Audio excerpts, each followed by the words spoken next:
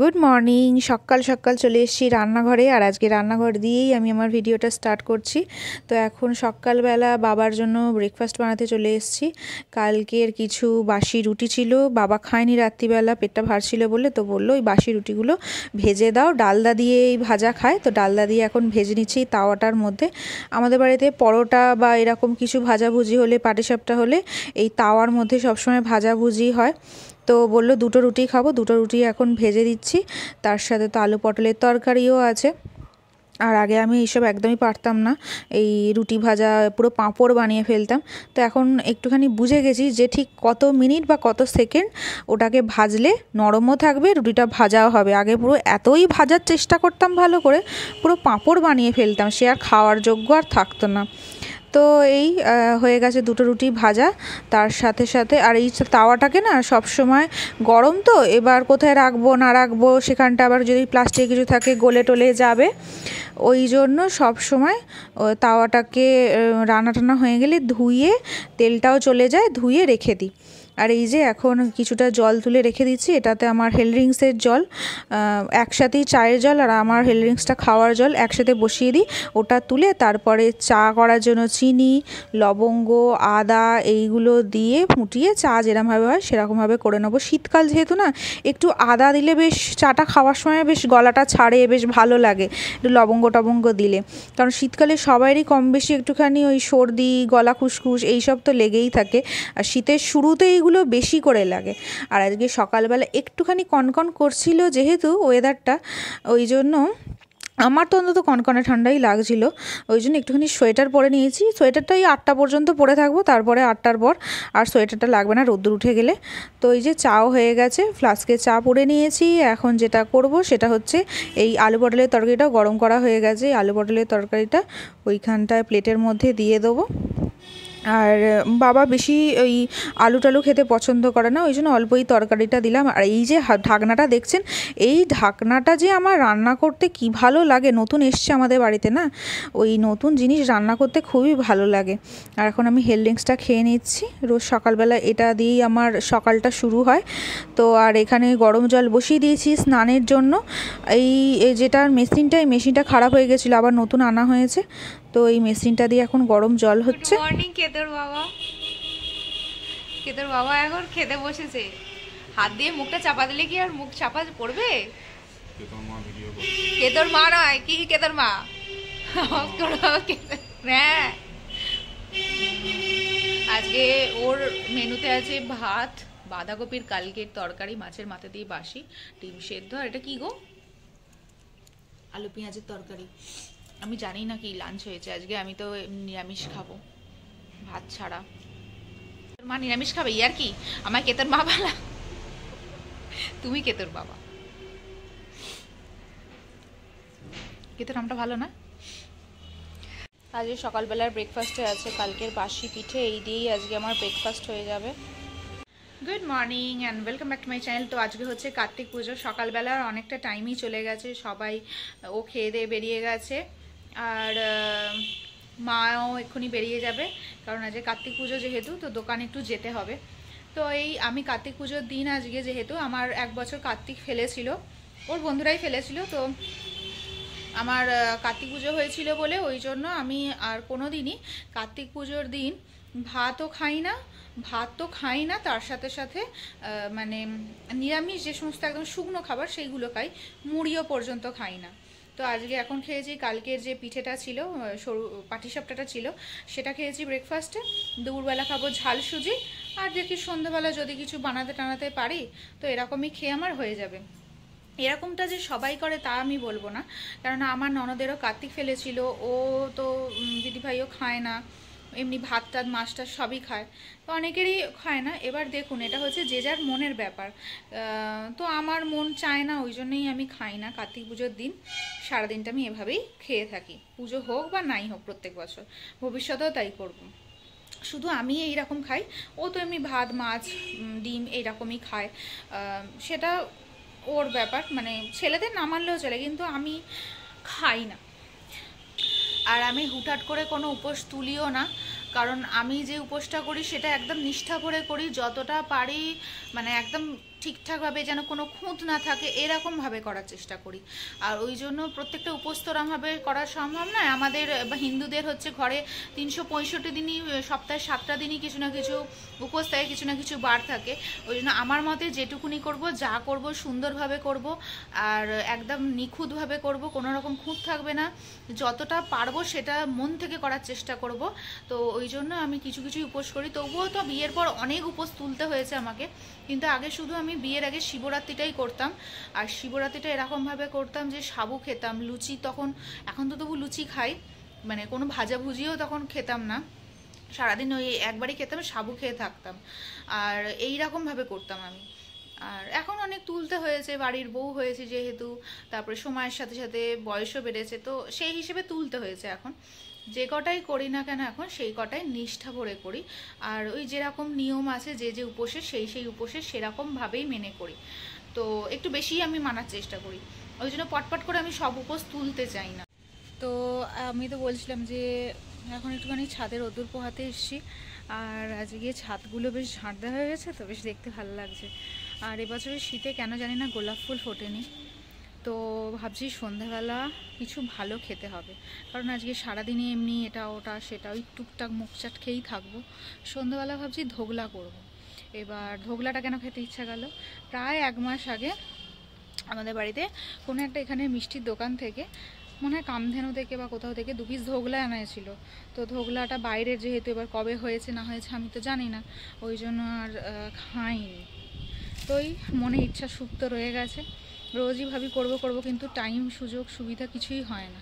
তো আজকে সব সুযোগ, সুবিধা রয়েছে যখন, আর সারাদিন মুখচাট খেয়েই থাকব ভাবলাম আজকেই করি। আর বাড়িতে আজকে সেরকম রান্নাবান্নাও নেই, কেউই নেই বাড়িতে, আমি একা আছি। তো আজকেই ওই জন্য করে এখন রেখে দেবো, সন্ধ্যাবেলা ওটা খাব। আর এইগুলো দেখতে পাচ্ছেন, এইগুলোকে বলে কুলত্ব কড়াই। এই কুলত্ব কড়াইগুলো কারোর কিডনির প্রবলেম থাকলে তারা যদি রোজ এগুলো খায়, তো এগুলো কিডনির প্রবলেম আর কি ঘরোয়া পদ্ধতিতে সলভ করা যায়। তো এটা আমাদের দোকানে বিক্রি হয়, তো এগুলো ছাদে দেওয়া হয়েছে। এগুলো পায়রাটা খুব মুখে নিয়ে খায়, ছেটায়। তো এখন রাখা হয়েছে রোদ্দুরে যাতে পোকা টোকা ধরেছিল, সেগুলো যাতে চলে টলে যায় ওই জন্য। শীতটা ঠিকঠাক করে পড়েনি বলে গাছপালা বাড়ছেও না, কিন্তু অন্য বছর গাঁদা গাছগুলো কত বেড়ে যায়। এবছর কীরকম যেন হয়ে আছে। জলও পড়েনি, কিন্তু জল যাই হোক, অন্য বছর বাড়ে। তো এখন আমি রান্নাঘরে চলে এসেছি ধোগলাটা বানাবো বলে। আর এখানে ধোগলাটা বানানোর জন্য যেটা লাগবে সেটা হচ্ছে এমনি বেসন দিয়েই করব। তো ওইটাকে ভালো করে চেলে নিতে হবে। এক বাটি বেসন নিয়েছি যেরকম কেক তৈরির আগে মানে ময়দাটাকে চেলে নিতে হয়, এখানেও বেসনটাকে চেলে নিতে হবে, যাতে জিনিসটা ফ্লাপি হয়।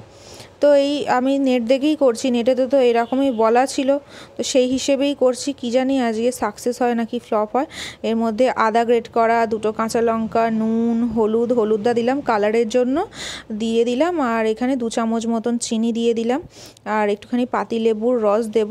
এখানে প্রায় আমি দুটো পাতিলেবুর রস, দেড়টা পাতিলেবুর রস নিংড়ে নিয়েছিলাম।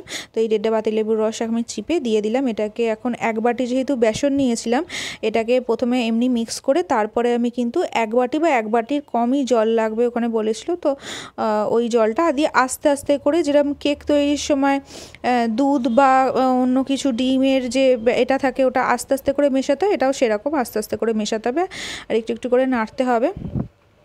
তো দেখা যাক আজকে কীরকম হয়। আর এই ধোগলাটা খেতে আমি এর আগে একবার দুবার খেয়েছিলাম। একবার গড়িয়া দিয়ে আসছিলাম যখন, তখন মানে বাপের বাড়ি থেকে শ্বশুরবাড়িতে আসছিলাম, তখন একবারই খেয়েছিলাম, খেয়ে খুব ভালো লেগেছিলো। তারপরে তো ওই যে বললাম, আবার বাড়িতে এসেছিল, আমার খাওয়া হয়নি, মনে সুপ্ত বাসনটা রয়ে গেছে, তো ভাবলাম আজকে করাই যাক। কালারটা দেখুন, কি অপূর্ব এসেছে না? এই কালারটা কিন্তু আমার ফেভারিট কালার জানেন তো? আর এই কালারটা কি অপূর্ব লাগছে দেখতে। আর কিছুক্ষণের জন্য রেস্টে রেখে দিলাম কুড়ি মিনিটের জন্য। তো এইবার যেটা দিচ্ছি সেটা হচ্ছে বেকিং সোডা নেটেতে কিন্তু সব জায়গায় লেখা আছে ইনো দিয়ে করতে। কিন্তু আমি এখানে পাকামি করেই আজকে বেকিং সোডা দিলাম। কি জানি, দেখা যাক ভালো হবে, ঠিকঠাক হবে, নাকি পুরো জিনিসটাই ফ্লপ হয়ে যাবে। যেটাই হবে সেটাই আপনাদের সাথে শেয়ার করব। একদম সাচ্চা রিভিউ যাকে বলে। তো এখানে কেক টিন নিয়ে নিয়েছি, ওটাকে বেক করার জন্যই।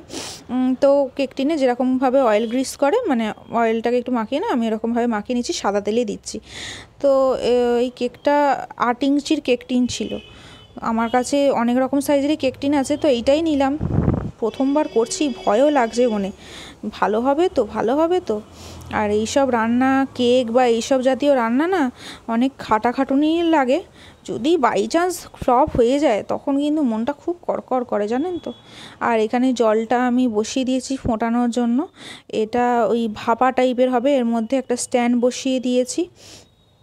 আর বসিয়ে দিয়ে এটা মোটামুটি প্রিহিট করা হয়ে গেছে। তো এর মধ্যে ওই যে আমি বেসনটা রেডি করলাম, গোলাটা, ওটা বসিয়ে দেবো। বসিয়ে দিয়ে এটা তিরিশ মিনিটের জন্য মিডিয়াম ফ্লেমেতে রেখে দেবো চাপা দিয়ে। তো তিরিশ মিনিট পর দেখা যাক কীরকম হয়। তো এখানে আমি এবার সিরাপটা তৈরি করে নেব। ধোগলার ওপরে যে সিরাপটা লাগে। তো প্রথমে কড়া একটা ছোট প্যান নিয়ে নিয়েছি। এর মধ্যে সর্ষে দিয়ে দিলাম। সর্ষেটা বড্ড ডান্সিং করে, জানেন তো? দেওয়ার পরে। তো ওই সর্ষেটা দেওয়া হয়ে গেছে। এর মধ্যে কিছুটা কারি পাতা দিয়ে দেবো। এই কারি পাতাগুলো আমাদের গাছের। কিন্তু ওই যে কারি পাতাগুলো ঠিক পুষ্ট নয়। কীরকম যেন?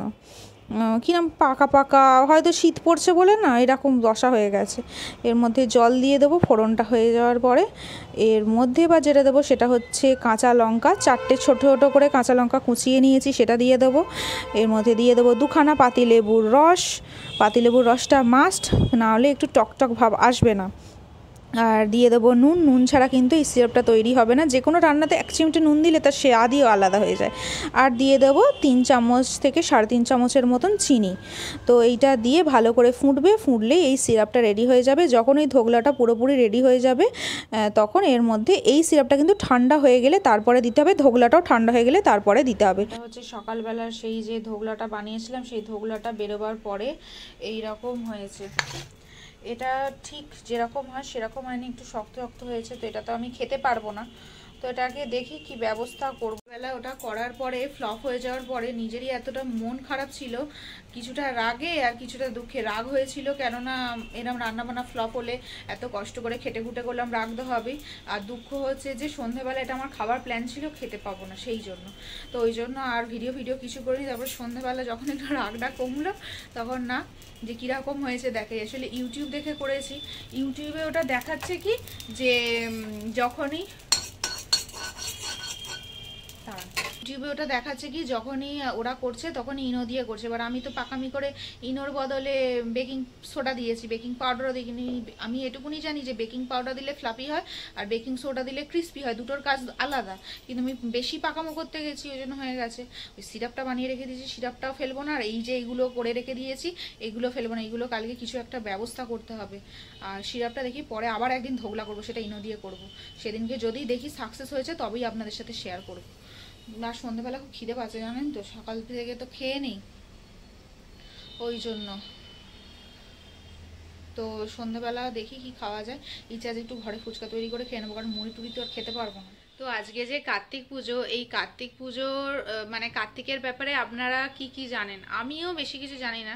কেননা শিব বলুন, কৃষ্ণ বলুন, সবার ব্যাপারে মোটামুটি আমরা টুকটাক এটা ওটা জেনে থাকি, কিন্তু কার্তিকের ব্যাপারে খুব একটা কেউই জানি না। তার মধ্যে আমি যেটুকুনি জেনেছি, আমার এই সবগুলো একটু চর্চা করতে ভালো লাগে। বলে তাই আপনাদের সাথে একটুখানি শেয়ার করছি। যেহেতু এখন আর ঠাকুর পুজোর ভিডিও আলাদা করে তো করা হয় না। তো ঠিক আছে। তো কার্তিক হচ্ছে দেব সেনাপতি আমরা সবাই জানি। কার্তিকের হচ্ছে ছটা রূপ আছে আর কার্তিকেরও হচ্ছে ছটা স্ত্রীও আছে।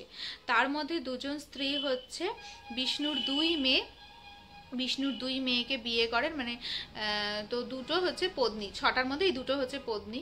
তাছাড়াও কার্তিককে মরুগান বলা হয়, তারপরে স্বামীনাথন বলা হয়। দক্ষিণ ভারতে কার্তিকের পুজোটা একটু বেশি প্রচলন। হয়তোবা কার্তিকের বাহন ময়ূর, আর পাহাড় পর্বতে একটুখানি ময়ূরের মানে ময়ূর বা এইসবের আধিক্য বেশি, তো সেই জন্যই। মরুগান বলা হয়, কার্তিকের বাহন হচ্ছে ময়ূর। আর এই ময়ূর কিন্তু কার্তিকের মানে কি বলব, কার্তিকের সাথে যুদ্ধ করে কার্তিক ময়ূরকে পরাজিত করেছিল। এই ময়ূরটা কিন্তু একটা অসুর ছিল আসলে। তো পরাজিত করেছিল, তারপরে সে কিন্তু কার্তিকের বাহন হয়েছিল। তো এই রকম অনেক ছোট ছোট ঘটনা যেগুলো আমি জানতে পেরেছি, সেগুলোই আপনাদের সাথে শেয়ার করলাম। তো এই, এইগুলো ভালো লাগে বেশ। তো এইগুলো বিষয়ে পড়াশোনা করতে আমার খুব ভালো লাগে। একটা অন্যরকম বেশ মজা লাগে, জানেন তো? পুরোনো দিনের এইসব ঘটনাগুলো যখন পড়াশোনা করি, জানি তবু সেই অর্থে তো আর করা হয় না। পরে আবার যখন করব, তখন আপনার সাথে ভালো করে ডিটেলসে যেরকম আগে ঠাকুর ঘরে বসে সুন্দর করে শেয়ার করতাম, পুজোর মাঝে মাঝে অনেক কিছু কথাবার্তা সেরকম আবার তখন শেয়ার করব। তো আজকে রাত্রিবেলা মেনুতে আছে পরোটা, আর তার সাথে কালকের বেঁচে থাকা আলু পটলের তরকারি। সেটা দিয়েই হয়ে যাবে। কারণ আজকে মা আর বাবা দুজনে মিলে ভাত খাবে, আমি আরও পরোটা পরোটা খাব। তো এই, আর ও গেছে এখন ফুচকা করেছিলাম, সেই ফুচকাগুলো খেতে। আর এভাবে যদি আমি ফুচকা খেতে থাকি রোজ রোজ, তাহলে দেখবেন কোন দিন আমি দিদি নাম্বার ওয়ানে যাব, আর যদি সেখানে ফুচকা খাওয়ার কম্পিটিশন ফার্স্ট হয়ে ঘরে ঢুকবো। এরকম রোজ রোজ যদি আমি ফুচকা খাই। কারণ রোজ রোজ খেতে খেতে একটা অভ্যেসে দাঁড়িয়ে যায় না। আর আমি যে ফুচকাগুলো খাই, সেগুলো নিজে যেহেতু করি নিজে যেহেতু বানাই, সেহেতু কিন্তু আমি বড় ফুচকাই নিজে নিজে বেছে বেছে খাই। তো এই হচ্ছে ব্যাপার।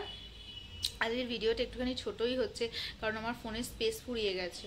তো এই ভিডিওটা আমি এই পর্যন্তই রাখছি। যদি আপনাদের আমার এই ভিডিওটা ভালো লাগে, তাহলে অতি অবশ্যই লাইক কমেন্ট শেয়ার করে দেবেন। আজকের মতন, টাটা।